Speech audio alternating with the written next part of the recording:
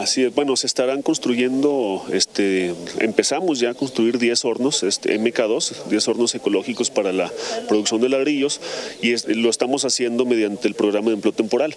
Este, ahorita estamos ya este, comprando los materiales, bueno, se les entregó al comité de beneficiarios ya cerca de 200 mil pesos para que empiecen ellos a comprar los materiales que se van a utilizar.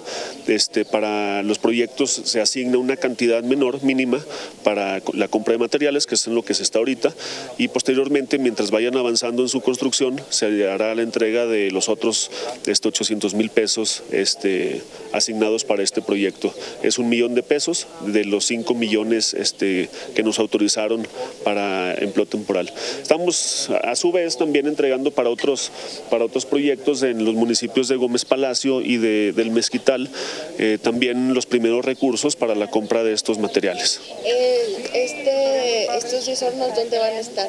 En el Parque Industrial Ladrillero.